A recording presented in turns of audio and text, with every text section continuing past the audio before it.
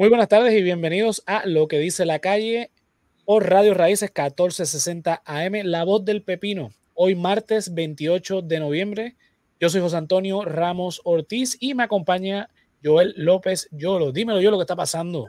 Todo bien, todo bien. Saludos y saludos a todos los que nos escuchan y nos ven a través de Facebook. Zumba. Bueno, llevamos tiempo sin aparecer aquí en Radio Raíces. Estamos de unas pequeñas vacaciones. Este, a veces es difícil hacer este tipo de contenido todo el tiempo, así que nada, estamos de vuelta. Eh, estamos de vuelta eh, con un tema eh, tan reciente como el pasado fin de semana, si no mal recuerdo. Se dio una actividad en La Palguera, en Lajas, este encendido navideño que aparentemente típicamente se hace todos los años, pero que en, este, en esta ocasión la Secretaría del Departamento de Recursos Naturales y Ambientales prohibió debido al impacto ¿verdad? Eh, ambiental que este tipo de actividad eh, da en la, en la, zona. Estamos hablando ¿verdad? del lugar de la, donde está la, bahía bioluminiscente, aparte de todo eh, el ecosistema, ¿verdad? Acordémonos que la luz en la noche afecta a, a, muchísimas especies. Lo que pasa es que pues, en las zonas urbanas en donde se ha desplazado bastante la naturaleza, pues estamos acostumbrados a tener luces encendidas. Pero la realidad es que afecta igual. Sabemos que obviamente que en esta área de Laja, que es un poquito menos urbana, que es mucho más natural y demás, pues aunque sea algo típico nuestro, puertorriqueño, la Navidad, y que nos gusta encender y que nos gusta las luces, que nos gusta el holgorio, pues, o sea, el conocimiento evoluciona, es lo que quiero decir, y, y, ¿verdad? Exactamente. Digo esto porque el argumento en contra de la prohibición por parte de la secretaria es de que no, esto se lleva años haciendo, ¿por qué ahora esto eh, se ha convertido en una cuestión política y no debe ser? Mira, independientemente de cuáles sean las razones y motivos que tuvo la secretaria, tiene base de hecho científico. Hace 20 años, 30 años, quizá existía el conocimiento, pero no la conciencia. Hoy están las dos y el conocimiento evoluciona porque constantemente los científicos estamos en constante investigación y constante descubrimiento. Y digo estamos porque este servidor estudio ciencias políticas, soy científico social. Hacemos el mismo procedimiento que, que, los científicos naturales. El método científico lo aplicamos igual, lo que pasa es que ellos tienen unas metodologías diferentes en cuanto a la experimentación, porque nosotros, por ejemplo, nuestra experimentación mayormente es la observación, pero ellos pueden experimentar de otras maneras que quizás nosotros no. Pero es lo mismo. Digo eso porque oponerse a, nuevos conocimientos es encerrarse y no debe ser la actitud que debe tomar la población. Yo entiendo que la secretaria de, Recursos Naturales pueda tener motivaciones políticas. las puede tener porque no es normal que administraciones del Partido Nuevo Progresista estén con estos temas ambientalistas, porque el ambientalismo generalmente en el espectro político se ubica en la izquierda. Y sabemos que aquí en Puerto Rico tenemos terror a la palabra izquierda, terror a, todo lo que tenga que ver con, algo diferente o que enuncie algo en contra de los Estados Unidos. es, es un hecho. No hay duda. Pero no por eso podemos quedarnos atrás. Mientras en los estados, ¿verdad? Porque usualmente, ¿verdad? Los estadistas y los PNP y los populares siempre miran a los estados y no miran al mundo. Pues vamos a darle el ejemplo de los estados. En los estados están avanzando con los temas ambientalistas y están protegiendo cada vez más sus recursos naturales. Y, y los departamentos, tanto federales como estatales, van más en avanzada comparado con Puerto Rico para preservar los recursos naturales, aquí vamos al revés. Los queremos destruir más en nombre del desarrollo. Y no puede ser la actitud. Voy a leer eh, unas palabras que he conseguido en las redes sociales, aparentemente del alcalde de Lajas. Eh, las voy a leer para que darle contexto a lo que estoy eh, diciendo. Dice aquí, el alcalde afirma que Lajas no es un balón Luego de más de 20 años de tradición y celebración del encendido navideño del Club Náutico de Lajas, en los cuales nunca el Departamento de Recursos Naturales ha intervenido o prohibido el mismo, la agencia decidió ahora prohibirlo. El alcalde Jason Martínez cuestionó los motivos detrás de la determinación e invitó al Departamento de Recursos Naturales y Ambientales a no permitir que motivaciones y agendas externas guíen los trabajos de la agencia. Parece mentira que nuestros pescadores, ciudadanos y comerciantes lajeños no puedan disfrutar de este evento, al igual que años previos, por cuestionables razones y no queremos pensar que son políticas. Yo decidí entrar a la política para que nuestra gente no pueda ser rehén de partidos o grupos que promuevan el caos. Nuestra gente no debe sufrir las consecuencias de grupos comunitarios, los cuales llegan a nuestro pueblo con agendas políticas disfrazadas de buenas intenciones. Eventos como este son realizados en todos los clubes náuticos de la isla, pero últimamente el Departamento de Recursos Naturales ha estado muy enfocado en la parguera. El alcalde subrayó que es cuestionable cómo ahora cambian de postura en cuanto a esta actividad, tras el alegado reclamo de entidades eh, con agendas políticas. La pregunta que debemos contestar, que debe contestar el departamento es si van a terminar las reparaciones en Playita Rosada, si van a tener personal suficiente para cuidar la reserva, si van a comenzar los trabajos de Matalagata que desde el huracán están en mal estado. ¿Dejarían estas playas abandonadas que son pieza importante en el desarrollo económico de nuestro pueblo? Debemos contestar esas preguntas y dejar de estar respondiendo a cualquier nuevo reclamo de grupos separatistas y enfocarnos en trabajar por nuestro pueblo. Feliz Navidad, concluyó Martínez Maldonado. Ok, a esta posición yo tengo que decir algo. La agenda del Departamento de Recursos Naturales y Ambientales no es otra que la de preservar los recursos ambientales naturales. Hay varios detalles aquí, por lo que estoy viendo. Sí, sí. Yo no, no conozco la obra en, grandes rasgos de este alcalde, no lo conozco ¿verdad? para nada. Pero me, yo me dejo llevar por cada caso según viene y por cómo reaccionan las personas envueltas en cada situación. Entonces, lo primero que noto es esto, como dicen los, americanos, del what about, eh, ¿verdad? What about. Eh, tú le mencionas algo sobre este tema y te dicen, sí, pero ¿y qué pasa con esto? Yo, no, perfecto, que hay que arreglar Matalagata, que hay que arreglar esto, que yo estoy de acuerdo, si hay que arreglarlo, hay que arreglarlo, si la agencia tiene que hacer, cada caso se tiene que tomar independiente. Ahora se está hablando de la bahía bioluminiscente. ¿Qué pasa? Él está hablando, ah, todos los clubes, clubes náuticos realizan actividades similares. También está perfecto. No estamos hablando de todos los demás cuerpos de agua que no tienen la particularidad que tiene este y el en Fajardo tenemos otro. En Vieque. Y en Vieque. Que son, son tres de cinco en el mundo. Exacto, tres de cinco.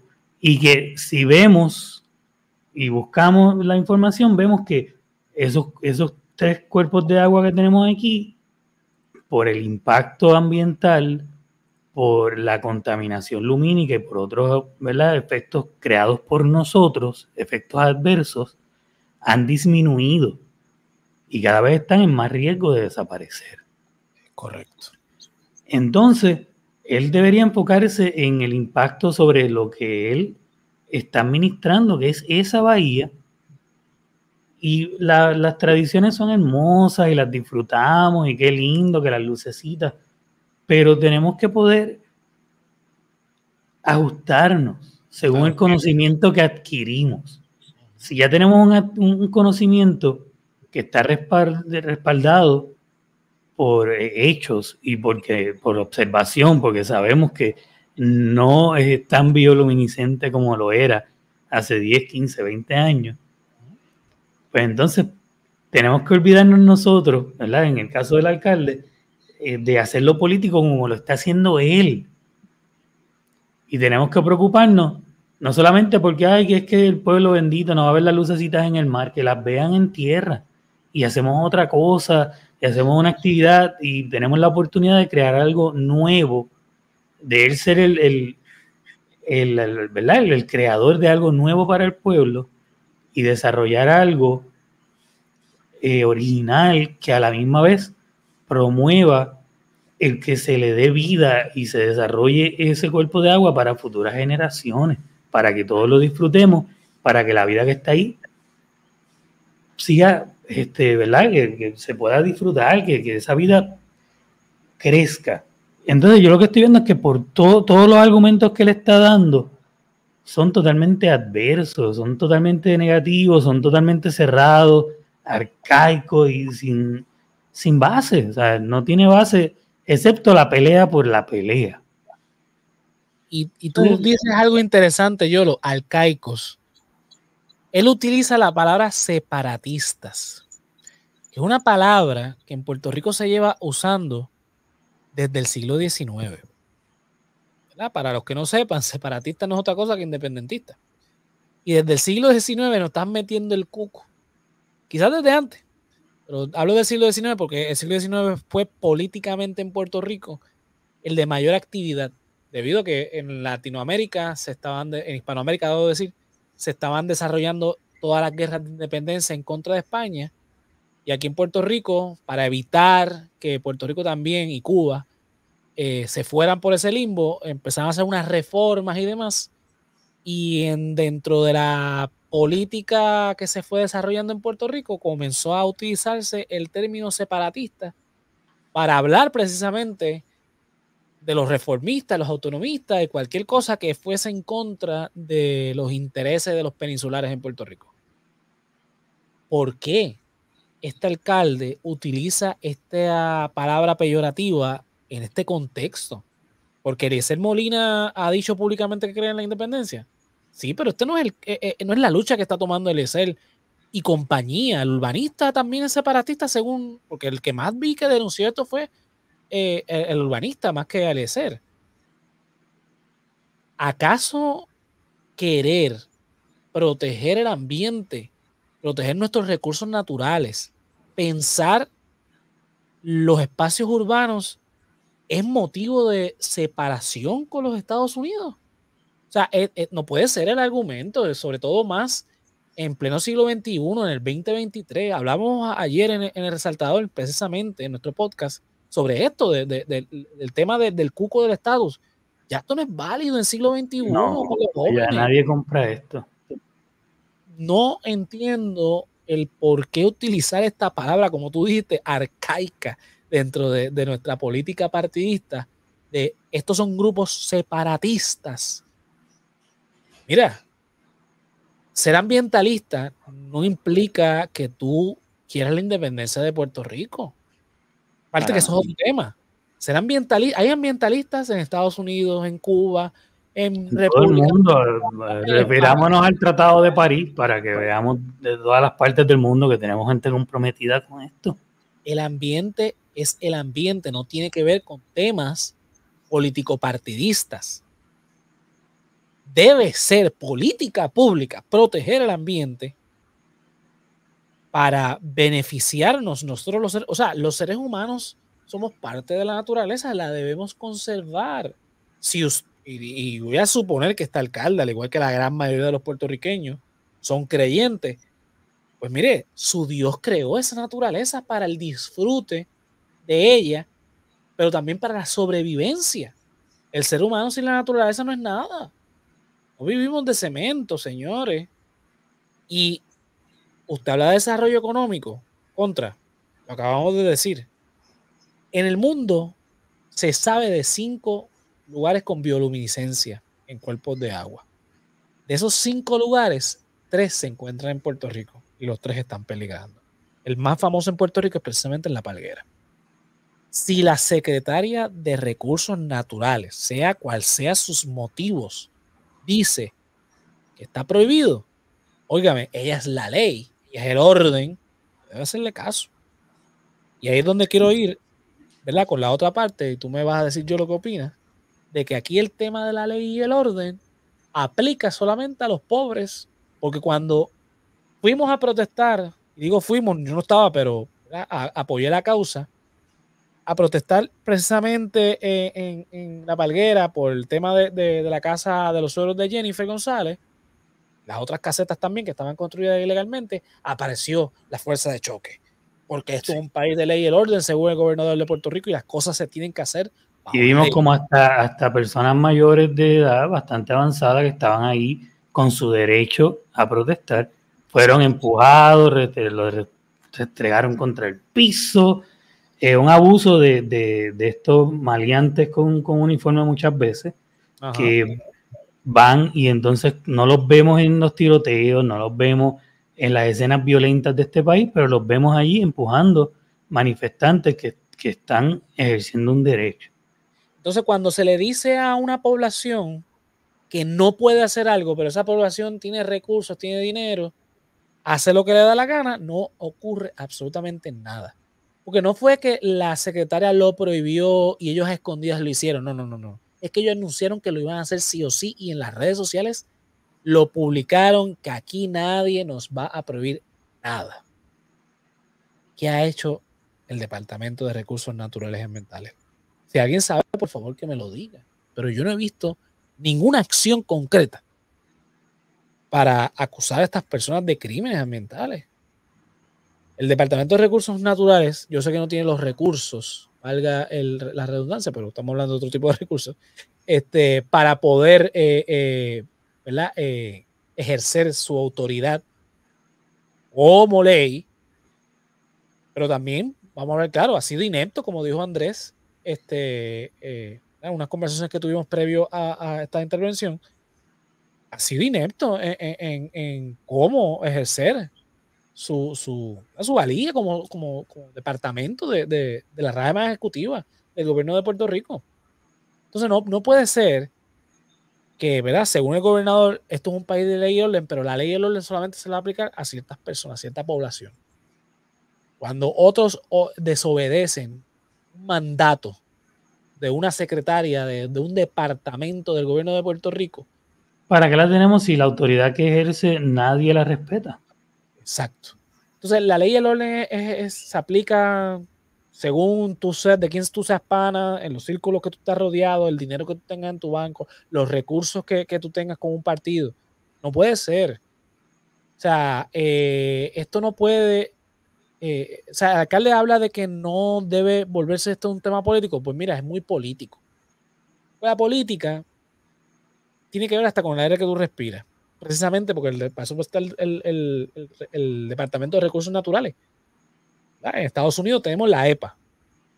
En Puerto Rico tenemos la, Yo estoy seguro que si la EPA eh, interviene en esto, no le van a prohibir también, porque eh, eh, esto va en contra de leyes estatales y federales, punto. Pero no, la ley y el orden aplica a los que protestamos, a los que queremos que la ley y el orden se aplique en este país. A, eso es que nos aplican a nosotros y nos criminalizan, pero los que cometen crímenes, ah, no, eso no. Eso no, porque es que esto es una tradición. Mira, las tradiciones tienen que, evolucionar con el tiempo. No puede ser. No puede ser que las tradiciones se queden estáticas, que al dejemos estáticas no puede ser porque es que si seguimos con esas tradiciones, pues habría que desenterrar un montón de tradiciones que hoy día consideraríamos barbárica. Dentro de unos 30, 40 años, esto va a ser algo barbárico. Ya lo es. Lo que pasa es que todavía estamos en la transición. Yo puedo entender que haya cierta resistencia, pero. Para eso tenemos líderes que tienen que tomar esos hechos, esos datos y tomar decisiones que tal vez no sean las más populares, pero son las necesarias. Exactamente. Entonces, está ese hecho y está el hecho de que óigame, que sea tradición, que sea, pongámosle, legal, lo que sea, no significa que sea moralmente lo correcto. Oye el ejemplo. ¿Era legal la esclavitud? ¿Era moral? ¿Estaba bien? No, nunca lo estuvo. Pero hubo un momento en la historia de la humanidad, por muchos siglos, de que eso estaba bien visto. Y hubo un momento donde eso cambió. Y empezaron a darse cuenta, espérate, esto de la esclavitud está mal, hay que cambiarlo. Y hubo resistencia en su momento dado. Hubo una guerra. Sí, ¿no? Y, en, el caso de Estados Unidos, en caso, de España. Estados Unidos hubo una guerra que, se dio por de, España, que todavía Cuba y Puerto Rico estaban dentro, una resistencia, quizás que no llevó una guerra, pero una, unas negociaciones eh, eh, eh, grandes que se dieron para eventualmente abolir la esclavitud. A punto de que, por ejemplo, Puerto Rico sí cumplió con el plazo, pero Cuba se le dio una extensión por, porque hubo unas consideraciones por parte de España con Cuba, ya que había mucho más esclavos en Cuba que en Puerto Rico, pero el punto es que se tuvo que ceder eventualmente porque los tiempos cambiaron. Lo mismo podríamos hablar de la segregación, lo, lo mismo podríamos hablar de colonialismo, lo podríamos hablar de un montón de temas que en su momento dado, por ejemplo, la quema de brujas. O sea, la, Santísima Inquisición. Eso era legal. ¿Era moral? No, inclusive siendo de una institución de la iglesia. No podemos crear esta ilusión de que porque es legal, es moral. No. Porque es legal fumar cigarrillos, beber alcohol, pero sabemos que es adverso a la salud. Ah, pero lo malo es fumar marihuana. Casualmente, exacto. Cuando todo hay que reevaluarlo. O sea, eh, tenemos que, que, dejarnos. Yo sé que los conservadores quieren ser conservadores en todo. Quieren conservar hasta, hasta el más mínimo detalle. Unas lucecitas que prendas en la bahía versus unas lucecitas que prendas en la plaza, no va a ser la diferencia. Ya. Meta la plaza pública de Laja. un árbol de Navidad enorme. Si quieres, hazte un, encendido que, tenga los Reyes Magos, el Santa Claus más grande, qué sé yo, hazte un invento, como digo yo, lo reinvéntate. Pero ¿por qué tienes que hacer algo en donde ya la evidencia científica dice que está mal y hubo un mandato por parte del Estado donde no debes hacerlo. Ah, que hace 20 años esto es una tradición. Ya no se puede hacer. Puede ser exactamente igual sin el botecito y la lucecita. O sea, la lucecita la puedes tener en otro lado, pero lamentablemente ya tienes pruebas, tienes una evidencia que sustenta el que tomes una decisión diferente. Entonces, con esa evidencia, de nuevo, tal vez no sea la, la decisión más popular, la decisión que, a todo el mundo le vaya a encantar, pero es la necesaria. Entonces, alguien que está administrando, ¿verdad? La posición del alcalde, tiene que saber que no puede solamente buscar el favor del pueblo dándole todo lo que quiera, así le haga daño. Porque hay situaciones donde lamentablemente hay que hacer lo que, el, lo que es el, lo que va a ser el bienestar del pueblo, así el pueblo no lo ve así en ese momento. Y este era un buen momento para eso. Y el alcalde pues se dejó llevar por, porque no, esto es político. Y, o sea, es, es increíble eh, que estemos en un mundo tan polarizado en donde no podamos ver el argumento del otro simplemente porque el otro está en el en otro lado del espectro político. Ya, eh, en el siguiente segmento hablaremos un poco de eso, pero en concreto de lo que estamos hablando aquí, es como que, y voy a usar el ejemplo de Eliezer Molina. Ah, Eliezer Molina es de la oposición, todo lo que él haga, todo lo que él diga está mal, hay que demonizarlo, porque el tipo es el enemigo. El tipo no es el enemigo. El tipo tiene una visión de mundo diferente a la tuya. Tú no tienes que estar de acuerdo en todo lo que él diga. Pero algo que no se le puede discutir a Arecer Molina es temas ambientales, temas con la, con la naturaleza, porque él es agrimensor, si no, si no mal eh, recuerdo. Él ingeniero, tiene un conocimiento científico. Eh, me pueden corregir eh, si me equivoco con, con, con, su profesión, pero entiendo que esto es lo que se. Está en esa línea, exacto. este tipo de cosas no la puedes. Y en cuanto al urbanista, él, es planificador. Lo que no tiene este país, planificación. El mundo completo se está moviendo hacia cambios que sean ecoamigables para poder sustentar todo la cuestión del capitalismo, porque no, no, no, es que el mundo quiera ahora volverse comunista, porque es ambientalista, no, no, es que se han dado cuenta de que para poder seguir manteniendo este sistema tenemos que eh, evolucionar y entender que estos cambios climáticos son reales y hay que evitar a toda costa eh, que sigamos lacerando la, la, la, la, naturaleza, porque entonces eventualmente nos vamos a quedar sin economía por estar lacerando y destruyendo eh, nuestro patrimonio natural. Porque simplemente eh, eso no es lo que yo quiero, porque yo quiero el desarrollo, pero es que puede haber desarrollo autosustentable, ecoamigable. Hay montones de sitios que son prueba de ello. No nos tenemos que ir tan lejos. Vámonos a América Central, Costa Rica. Exacto. Es un muy buen ejemplo de eso. Pero no. Como Eliezer está en contra del PNP, todo lo que él diga, todo lo que él haga es cuestión de separatismo, es cuestión de comunismo, es un vándalo, es un criminal, no lo vamos a tolerar. Y lo mismo pasa con el urbanista. Yo creo que esos son este, que se llama Pedro Carbona, ahora que me recuerdo. Eh, no puede ser que tengamos estas posiciones tan polarizadas, eh, porque al final hacerle daño a la palguera es lo mismo que no atender Playa Rosada como exponía, o Matalagata como exponía la gata. Lo mismo, entonces eso de, pero ¿y esto qué? No, vamos a hablar de este y del otro y lo resolvemos, se resuelven todos, pero ahora mismo está hablando de este. Exacto.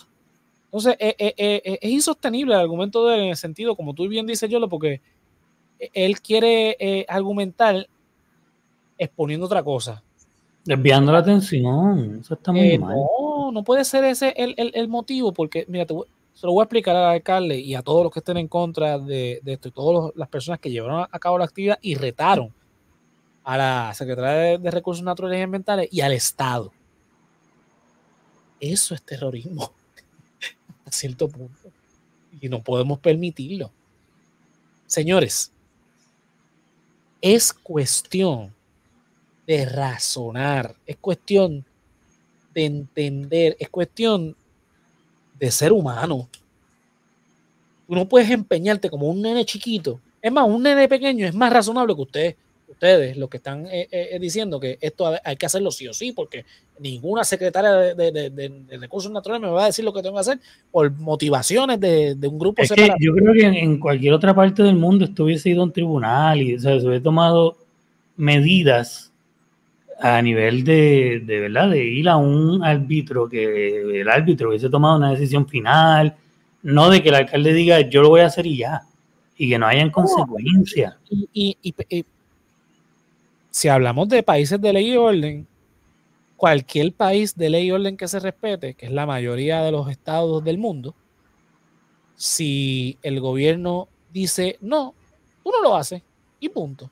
Al menos que cuando el gobierno diga no a algo sea en contra de los intereses del pueblo, que no, lo, no Entonces va donde un árbitro, va al tribunal, y hay, no, hay unos métodos, no es decir que no y ya. Sí, o sea, estamos hablando de que eh, eh, eh, esto fue una decisión que no debió cuestionarse. ¿Por qué la estamos cuestionando? ¿Por qué retamos? Ahora, cuando el Estado entonces va en contra de los derechos humanos de los puertorriqueños, esta gente no va en contra del Estado. Cuando se violan los derechos, cuando se hacen protestas y, y hay macanazos, cuando cierran escuelas, nadie protesta, cuando o sea, se van literalmente en contra de los intereses del pueblo. Esta gente no protesta, es todo lo contrario. Pero nada, nos vamos ahora a una pausa, pero regresamos en breve aquí en lo que dice la calle con Víctor Rivera Pastrana en el 1460 AM, la voz del Pepino Radio Raíces. Y Regresamos en breve.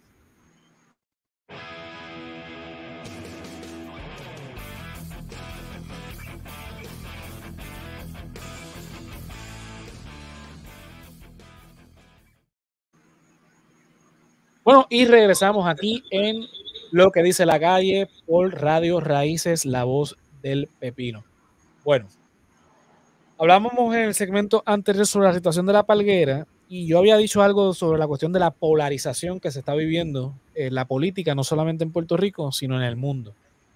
Y hay un caso particular eh, fuera de Puerto Rico, ¿verdad? Porque no siempre podemos estar hablando de Puerto Rico, hay que mirar al mundo. Eh, y como latinoamericanos debemos ser, ¿verdad? estar pendientes a lo que ocurre alrededor de, ¿verdad? nuestro, nuestro entorno. de nuestro, nuestro entorno cultural. Y recientemente, como el 19 de noviembre, Argentina eh, tuvo un proceso eleccionario viendo que Víctor ayer estuvo hablando sobre esta figura que vamos a estar hablando próximamente, eh, en donde se dio una segunda vuelta. El 19 de noviembre hubo una segunda vuelta, eh, porque en, Argentina el sistema eleccionario es del 50 más 1.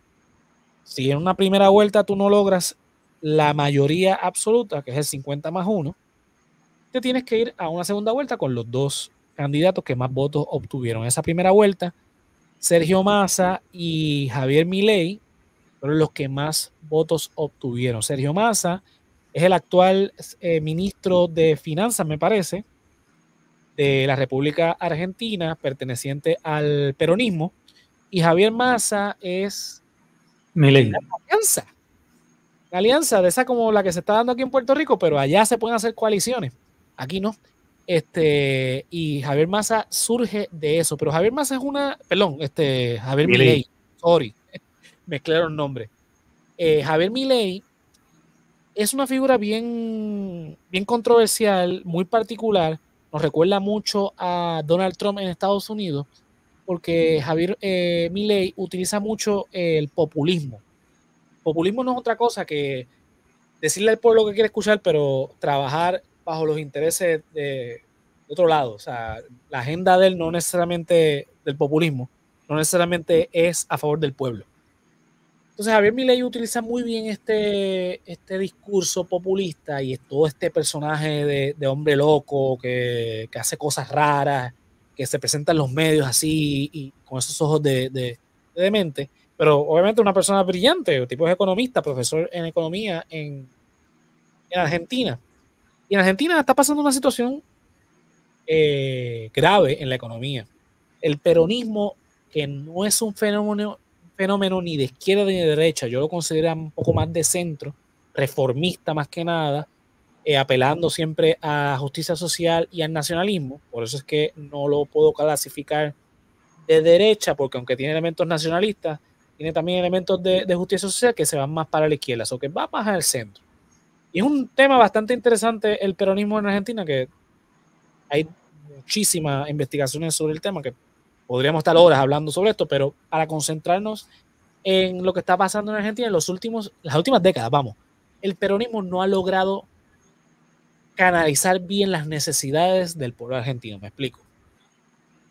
Aquí todo el mundo debe recordar la figura de Menem, por ejemplo, presidente de la Argentina, a principios del siglo XXI, cuando la, la moneda argentina llegó a cero y creó una crisis sin precedentes en Argentina, donde muchos argentinos tuvieron que salir de Argentina porque perdieron todo a, eh, a, consecuencia de la, de la política pública de Menem, que pertenecía al peronismo.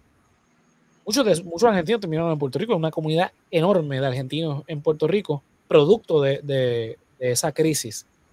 Y a través del tiempo, pues el peronismo se ha reformado, pero no ha logrado llevar la economía argentina a lo que alguna vez fue. Argentina fue una potencia económica eh, de América Latina, con todo de que tuvo dictadores como este Videla y demás. Ah, unos, periodos eh, tristes de, de, de, nuestra América Latina y Argentina fue parte de eso con, con, varios dictadores. Pero aún así, Argentina en un momento dado fue una potencia. ¿Qué pasó con Argentina? Porque Argentina tiene todo el potencial de seguir siendo una potencia tan grande como los Estados Unidos. Pues, es precisamente ese populismo llevado por el peronismo, las derechas más conservadoras de Argentina han llevado a la crisis que, que, que tiene hoy día. Comentaba con Joel ahorita, eh, por ejemplo, ahora mismo chequeamos y el cambio del peso argentino a, dólar, estamos hablando de que por cada dólar son 360 pesos argentinos o algo así. Creo que en un momento dado fue hasta más. y constantemente estamos en ese sub y baja. No hay estabilidad para nada. Esa, moneda no tiene nada de estabilidad, lo cual, pues, mm, ¿quién va a invertir? ¿Quién va a mover esa economía cuando tú no sabes qué va, o sea, qué va a costar tu dinero, tu inversión el día de mañana? Exacto. Entonces, ante esa situación, no sé qué le, qué, por qué mente le pasó al peronismo decir, bueno, Sergio Massa es el, candidato, siendo Sergio Massa el responsable hasta cierto punto. Yo no diría el 100% responsable, pero fue el que le explotó. Pero la cara, la cara es el, el sí, consecuencia de, de, administraciones pasadas, como le encantaba decir a, a Fortuño. Todo es una acumulación de un montón de cosas y a quien le explota es a Sergio. Pero independientemente de que haya sido de administraciones pasadas, cómo tú pones como candidato a la presidencia de la República a la persona que estaba encargada precisamente de esa situación que, está ocurriendo en Argentina. Entonces, ante eso, llega la figura de Milei, que con todo eso locura, está, la propone al pueblo argentino una solución a, a las cosas inmediatas. El peronismo te habla de la justicia social y de todas estas cosas, pero lo que está sufriendo el pueblo argentino es que, ajá, pero mañana lo que tengo hoy en el banco, mañana no cuesta lo mismo. Entonces, ¿qué me asegura a mí, lo que dice yo? La estabilidad económica, no tanto de las inversiones, sino de mi día a día. El día a día, totalmente, que yo estoy trabajando por lo que creo que estoy trabajando. Ajá, entonces cobro y entonces, a ah, contra, me puedo, este, puedo hacer la compra de la semana, puedo comprar las cositas que necesito, pero cuando cobro el cheque y voy al supermercado, no me da ni la mitad. Ya, ¿qué pasó aquí? Esas situaciones, y son muchas más, pero esas situaciones son las que empujan a que ser, eh, Javier Milei gane con el 55% de los votos en la segunda vuelta y gane esa popularidad. Muchos argentinos posiblemente no estén totalmente de acuerdo con, la locura que, presenta eh, Milei, pero es la alternativa, porque lo otro por más que me hable bonito y por más que me hable a largo plazo, yo lo que estoy viendo es que él y su partido y su gente han llevado a la Argentina a esto. Entonces, no es sorpresa, sinceramente, no es sorpresa que Milei ganara. Pasado, pasó lo mismo con Trump. Trump, un texto un poquito diferente, pero bajo más, o menos las mismas premisas, eh, eh, situaciones económicas precarias, eh, unas políticas públicas a largo plazo de, de, de Obama, pues podían o no desplazar, se sentían desplazados ciertas comunidades. Entonces llega Trump a darle voz a esas comunidades, aunque realmente él nunca representa esas comunidades. Milley pasa, pasa lo mismo. Es una figura que te dice, yo voy a dolarizar la, la, economía argentina mañana, yo voy a, a eliminar un montón de, de, de, ministerios, como le dicen allá, acá serían departamentos, un montón de ministerios que no sirven para nada, que lo que hace es que mucha gente depende del Estado. Algo que pasa aquí en Puerto Rico también. Existen muchas dependencias gubernamentales que sabemos que son para las batatas políticas. Allá en Argentina, imagínate, una, una nación de miles de millones de habitantes, o un estado tan grande como el estado argentino, que tiene un montón de ministerios. Mi ley sale en un video diciendo, te vas, y te vas, y te vas tú también, y te vas tú también. dice, contra, ese es el presidente que necesitaba que va a cortar toda esa grasa, va a dejar lo esencial. Uno lo analiza a largo plazo, sabemos que es peligroso, pero la gente lo que está viendo es contra, va a haber ahorros en el gobierno, la economía se va a estabilizar, no me van a robar, no van a haber batatas políticas. Pues claro que sí, mi voto es tuyo.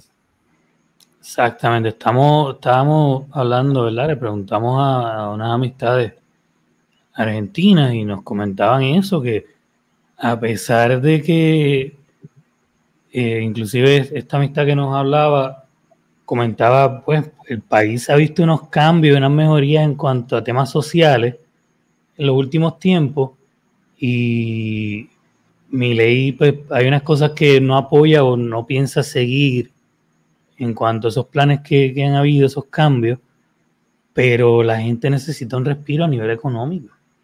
Y entonces la gente hasta cierto punto ha decidido a su pesar eh, dejar a un lado ese progreso que ha habido a nivel social por ese respiro económico que tanto necesitan.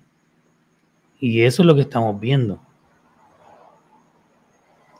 Estamos viendo eh, cómo eh, pues, mucha gente, a, pesar de que el país pues, ¿verdad? Pues, ha tenido un desarrollo a nivel social que ha sido bien grande, ¿no?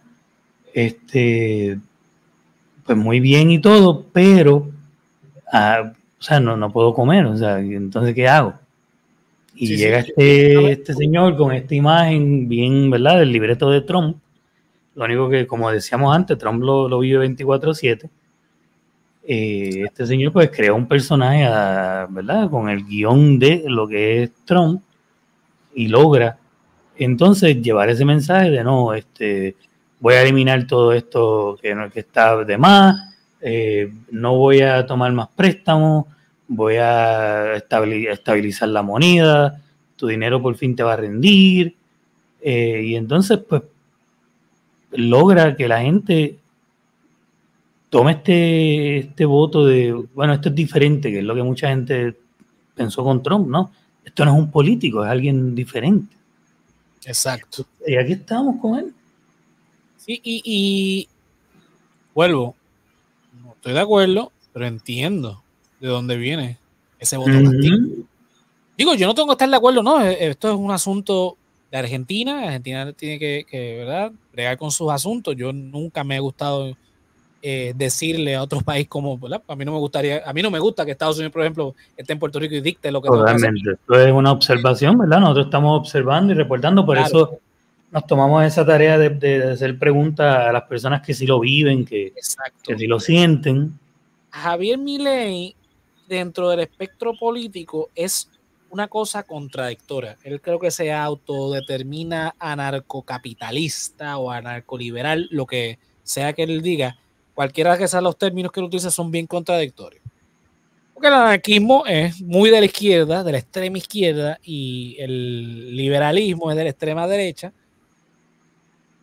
y lo que él propone es una melcocha de cosas.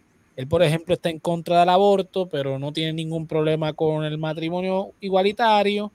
Eh, cree en el, Estado pequeño, pero eh, son una serie de contradicciones en cuanto a temas morales, temas sociales y temas económicos que no compaginan, pero pues eh, tenemos el resultado ahí, de que hay gente que es así, que piensa así, este, ¿verdad? Dijo unos comentarios también eh, sobre la gente eh, válida y demás, o sea, de como que, o sea, el tipo es Trump en todos los sentidos, en cuanto a temas sociales, pero y entonces también eh, diciendo cosas, porque Argentina está en un tratado ahora mismo, eh, que se llama las BRICS, que es donde está China, este, Argentina, South Africa, que es un tratado económico, que beneficia a, Argentina eh, y demás, pero que él dijo que lo va a sacarle de, no, con comunistas él no negocia. Es el libreto de Trump, el Tratado de París, es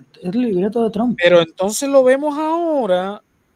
Mucho más reservado después que ganó. Sí, porque eh, eh, China expresó su, su, ¿verdad? su este, felicitaciones a Javier Milei, bla, bla, y él contestó de una manera muy serena y, y muy, diferente a como se proyectó en la, en la, en la campaña, que vamos, si usted tiene redes sociales, se mete a TikTok, a Instagram, la cantidad de videos que hay de las entrevistas, de las cosas que dice y hace, de la campaña, son monumentales porque es que el tipo, quizás para los argentinos no, pero para nosotros que estamos afuera, nos da gracias porque el tipo es un personaje quizás para Argentina, que es un tema serio, obviamente no, no, no da gracia de ninguno de los dos espectros, ni de la ni de la derecha.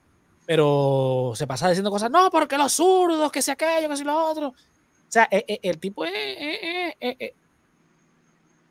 levanta el populismo en todo su sentido, por eso. No, es que, es que no hay forma de, al igual que Trump, o sea, logró la atención del mundo.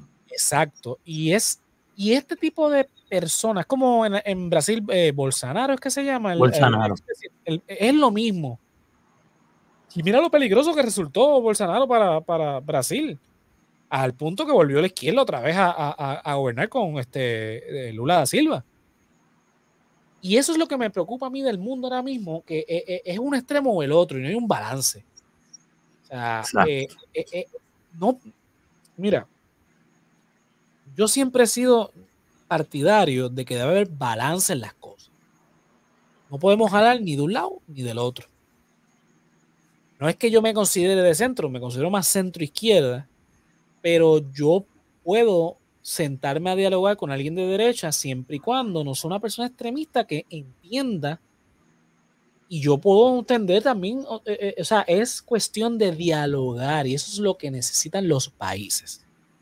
Si este señor logra enderezar la, economía de Argentina, bien, pero no podemos ir a los extremos de, de, de esto no se puede hacer porque eh, o sea, él, uno de los ministerios que quiere eliminar es el Ministerio de Salud. ¿Cómo tú eliminas? Hay que ver que tanto de esto es parte del guion también y que tanto de esto es, es real. Eh, Trump habló mucho de la muralla y sabíamos desde siempre que eso no iba a pasar. Claro. Eh, y muchas cosas así por el estilo, ¿no? Que eh, esto de que iba a prohibir la entrada de, la gente del Medio Oriente, vimos que hizo un aguaje que sabíamos que no iba a llegar a nada, eh, detuvo unos vuelos unas cuantas horas y hizo mucho ruido y todo quedó ahí, después no volvió a hacer nada más el resto del cuatrenio, y así por el estilo, o sea que hay que ver, este señor se ve, eh, por lo menos desde acá a lo lejos, como un poco más medido y más entendido de los temas políticos que, Trump, ¿no? Que, que apenas se, se, ve que sabe leer. Exacto. Sí, Donald Trump en la presidencia estuvo más tiempo haciendo golf, eh, viendo televisión y tomando... Y, y en Twitter, este, peleando con, con gente este, no medular para nada a la política del país que representaba. Eh, en el caso de Milley hay que observarlo, obviamente. Exacto. Eh, no sabemos cómo, ¿verdad? Porque esto, digo, no sale de la nada, pero no tiene una trayectoria política, igual que Trump. A diferencia de otros presidentes argentinos que vienen de, una trayectoria, eh, fueron diputados, fueron gobernadores, fueron este, senadores de la República, hasta llegar finalmente a, a la presidencia. Este señor no necesariamente es eso, pero responde a un vacío eh, de representación que se ha dado en Argentina, porque, mira, volvemos, Argentina es un país que tiene un potencial económico enorme. Argentina tuvo la palabra que no puedo decir aquí al aire, pero bien puesto en su sitio, de enfrentarse a una de las potencias más grandes del mundo, que era Inglaterra, que es todavía Inglaterra, en una guerra por las Malvinas. Las Malvinas, sí. perdieron la guerra, pero, pero pudieron eh, eh, hacer eso. ¿Tú crees que otros países pueden hacer? No, Argentina lo pudo hacer. Y no estoy aplaudiendo ese, e, ese acto. Que no, no, es un hecho que pasó y se, se resalta, punto, que es lo que nosotros hacemos, resaltar. Eh, y, pero lo que quiero decir es poner con eso es lo grande que fue Argentina en un momento dado y que todavía para mí lo es, porque tiene todavía el potencial de serlo. Pero lamentablemente eh, se ha desperdiciado. Yo creo que mi ley lo que está tratando de, canalizar es rescatar lo mismo que decía Donald Trump. ¿Qué era lo que decía Donald Trump? Make America, great again, MAGA. Hmm. Y es básicamente este discurso de este señor en Argentina, que esperemos para el bien del pueblo argentino sea algo bueno. Yo no lo dislumbro de esa manera porque el tipo hasta que no veamos cómo se desenvuelve, si suelta ese libreto y de verdad se dedica a administrar y a, crear política y a cumplir con lo que sí puede, entonces, pues bueno, ¿verdad? Eh, ahí puede decir, ok, el señor sí tiene la cabeza en los hombros, ¿no? Pero ahora mismo es una incertidumbre. Es una incertidumbre y te digo algo, eh, Yolo, el tipo por esas contradicciones en el espectro eh, ¿verdad? Eh, político que, hablaba, que uno puede identificarlo si es de, si es de derecha, centro izquierda, porque el, tipo te sale todo regado por todo. Y, entonces eh, eso es lo que te da a ti, es, por lo menos nosotros desde acá, desde afuera, lo que me da es lo que tú dijiste, incertidumbre. quizás para los argentinos, ante la alternativa, han decidido por, por mi ley. Pero así como funcionan las democracias. Si mi ley no funciona, eventualmente lo sacarán, como pasó con este Macri, como pasó con Cristina Fernández, como pasó con Kirchner, como pasó con todos los demás que han, venido antes de, de, mi ley. Como el actor, que ahora mismo se me escapa el nombre del actor presidente de Argentina, pero a donde voy para ir cerrando, es que esto no, no lo podemos ver como un, un caso aislado. ¿Verdad? Todo tenemos que coger como que lo que está pasando es la polarización que está ocurriendo en el mundo, no solamente en Puerto Rico, que lo estamos viendo con, con Proyecto Dignidad y la Alianza, que son los opuestos, y el Partido No Progresista y el Partido Popular como que no han podido canalizar esa polarización de alguna manera, y entonces lo vemos con ese revuelo que tienen. En Estados Unidos vemos como el Partido Republicano acusa al Partido Demócrata de izquierda cuando está muy lejos de la izquierda y es la cuestión de esa polarización. Lo estamos viendo en España, como el PP, o sea, el Partido Popular y Vox están ahora en una guerra con el, presidente de gobierno, Pedro Sánchez, porque como él es de izquierda y, o sea, él es socialista y ha pactado con los movimientos independentistas de Cataluña para obtener la mayoría del Parlamento, pues están, olvídate, con, con protestas masivas y demás en contra de, los intereses de España y bla, bla, bla, y todo lo demás pero no están hablando de, nada de esto, habla de, temas esenciales. Toda esta polarización está hablando de cosas tribales. Triviales. Triviales. Eh, está hablando de cosas como que cosméticas, no a, raíz de los asuntos reales. Y mi ley peca un poco de eso, en decirte que no, yo mañana dolarizo la, la economía argentina. No, caballo, eso no es así de fácil. Es un proceso que es paulatino y necesita aprobación del Congreso de los Estados Unidos porque estamos hablando de una moneda extranjera. Y, la dolarización no necesariamente va a salvar los problemas de, Argentina. Ecuador tiene una, economía dolarizada y ciertamente hay una estabilidad en cuanto a la moneda, porque Ecuador no es el que está en... Eh, podemos hacer la comparación, Venezuela. La crisis de Venezuela tiene que ver con la moneda. Cuando a Ecuador le pasó lo mismo, con el Sucre, creo que es que se llamaba la moneda eh, de Ecuador, me corrigen si estoy equivocado, que llegó hasta cero, que hizo Ecuador, la dolarizó la, economía. Le creó una estabilidad en la moneda porque ya la política de, monetaria no la cubre el Estado, la cubre otra, eh, porque ni siquiera el dólar la cubre el, Estado americano, solo hacen la banca privada. Exacto. Le, le, crea una estabilidad en eso, pero economía, la economía ecuatoriana está bien, no necesariamente. Así que vender ese sueño de que la dolarización es rápida, segura y efectiva no va a asegurar desarrollo económico, que es lo que necesitaría Argentina. Realmente el mismo problema de Puerto Rico, lo que pasa es que a grandes escalas. Estamos hablando de un país enorme, con grandes terrenos para producir, con muchos recursos a su disposición, a diferencia de Puerto Rico, con una cantidad de población excepcionalmente grande que podría, ¿verdad? Eh, como he dicho anteriormente, ser una potencia económica, pero no lo es. Y mi ley lo que está prometiendo es eso, volver a, Argentina great again. Literalmente. Pero con unas promesas que no necesariamente, porque reducir el Estado tampoco va a, va, a producir ese desarrollo económico. Sí, eso puede ser parte de, pero no es la solución. No es la solución. Así que yo creo que, eso es, eh, responde a ese populismo que, que, no solamente Argentina, toda Latinoamérica, toda la vida ha sufrido de ese populismo. A menor grado en Puerto Rico, pero Puerto Rico sufre mucho de, del populismo eh, llevado por figuras, obviamente, como dice el nombre, el Partido Popular, Luis Muñoz Marín, Fernández Colón, eh, Luis Aferré, este también apeló mucho a eso, Carlos Romero Barceló, Rosselló, este, mm. cosas populistas.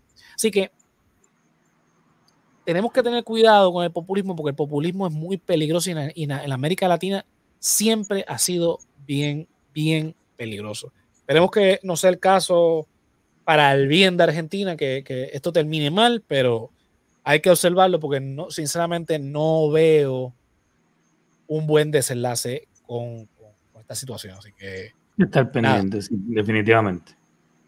Con eso, pues damos por concluido esta intervención. Este, sin antes entonces decir dónde nos pueden conseguir. Yolo, ¿a ti dónde te podemos conseguir?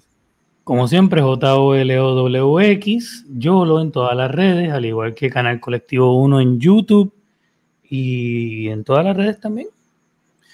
Listo. A mí me consiguen en todas las redes sociales como José Antonio RO91, Facebook, Instagram, Threads y TikTok. El resaltador de la realidad. Estamos en vivo todos los lunes a través de nuestras plataformas de Facebook, Twitch y eh, eh, YouTube como El Resaltador de la Realidad. Eh, acuérdense, los lunes a las 9 de la noche en y luego donde quiera que escuchen podcast, eh, incluyendo Spotify, que nos pueden ver en video. Patreon.com slash El Resaltador de la Realidad para apoyar este proyecto. Nada, nos vemos entonces hasta la próxima cuando estemos aquí en Radio Raíces, la voz del pepino en lo que dice la calle. 嗯，拜。